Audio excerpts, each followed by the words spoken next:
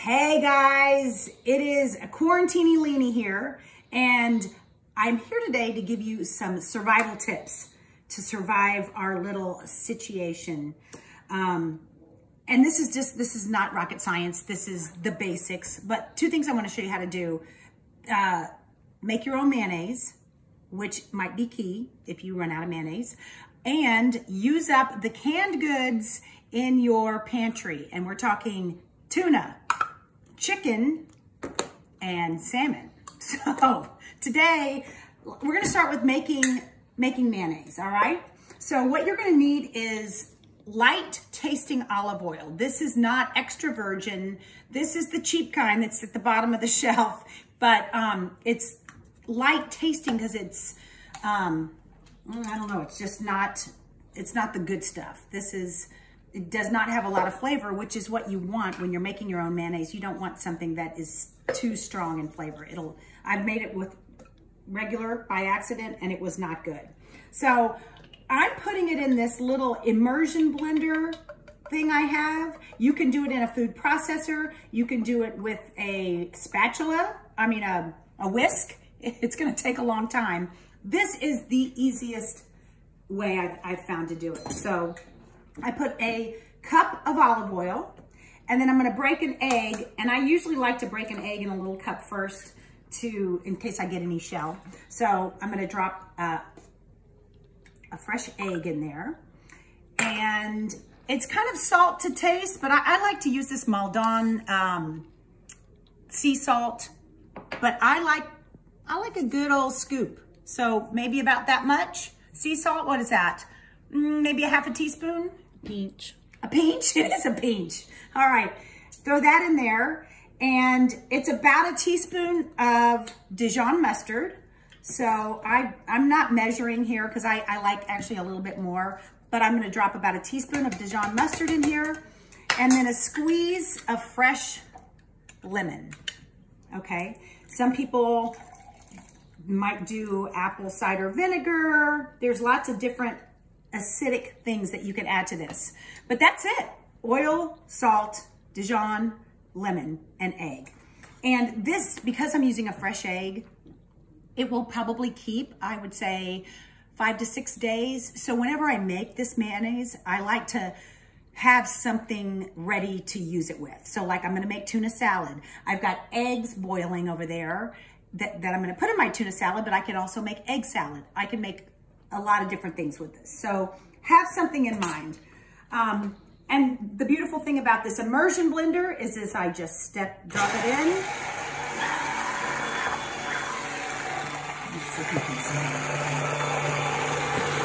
And let it go to town.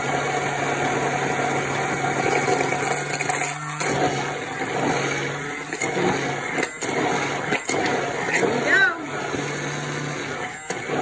And then you, once it's done, you can taste it and see, do you like more lemon? Do you like more salt? You can flavor it a little bit after that. Um, sometimes I'll make a, I'll use this for coleslaw or I can, I'll put um, chipotle chili in there and make chipotle chili mayonnaise. So you can, this is the base. You can add whatever you want.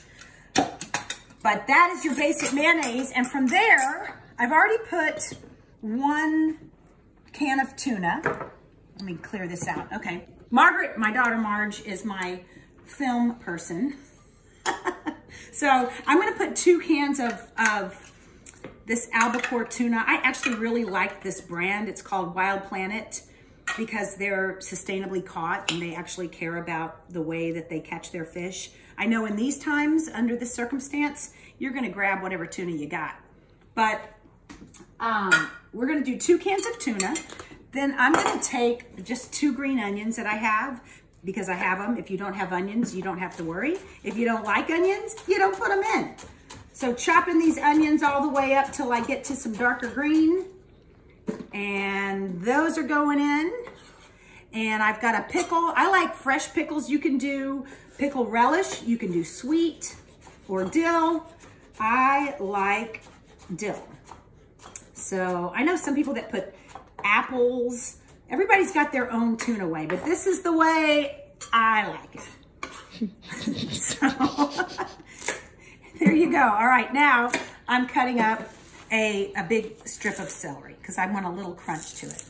Okay, so chopping this up. I hope everybody's staying sane. We went on a walk today because it was so beautiful just to get out of the house. But, um, man, I don't know what to tell you. I'm just trying to keep my social distance and abide by the rules. Follow, follow the damn rules. Okay, so there is my um, pickle, my whatever this is, the celery and my onion. Okay, now the the coup de grace or the uh, the special piece de resistance are my eggs. I, I did a video on this the other day. So I'm tired of peeling eggs and I have fresh eggs. So, oh, one of the yolks broke. So I broke my eggs straight in this bag. And instead of boiling them and then peeling them with fresh eggs, I have chickens. Peeling fresh eggs is a nightmare. So if you want to break them in a silicone bag um, and then gently simmer them, okay, if you can get this dumb thing open, okay, this is always the worst part.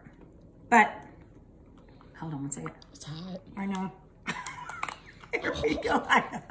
Don't do this at home, folks. Do not try that at home. Okay. So here is my, these are my eggs that I boiled. How about that? Now I don't even have to go to the trouble of peeling them because they come out in one big boiled egg monstrosity.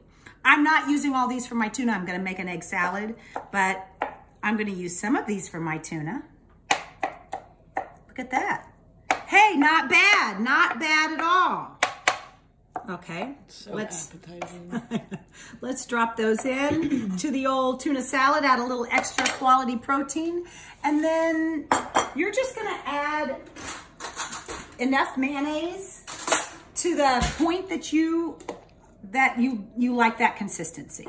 So I've got two little scoops, and I'm gonna swirl it around.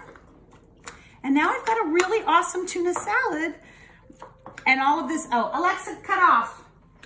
Yeah, she's letting me know my eggs were done. I already knew my eggs were done. So there you go. If you like more, throw another can in. Um, again, you can do the same process with um, chicken. You might, instead of adding celery to the chicken salad, add apples or grapes. That's what Margaret likes. And to salmon salad, you might add capers. Cream cheese. Cream cheese. Well, I don't know if I put cream cheese in the salad, but... I don't know. Instead of mayo. Yeah, you could make a salmon dip. That would be interesting. Ooh. Yeah. So good luck. Give this a try. I've, um, it, it's interesting. Sometimes my mayonnaise comes out fuller. Sometimes it comes out thinner. I think it might have to do with the size of egg. Like I grabbed the biggest egg that I had, but, um, but even if it's like this, it still works. It doesn't have to be like standing tall. So give it a try. Let me know if you make it. Take a picture and, uh, and tag me, Leeny Hoff. All right.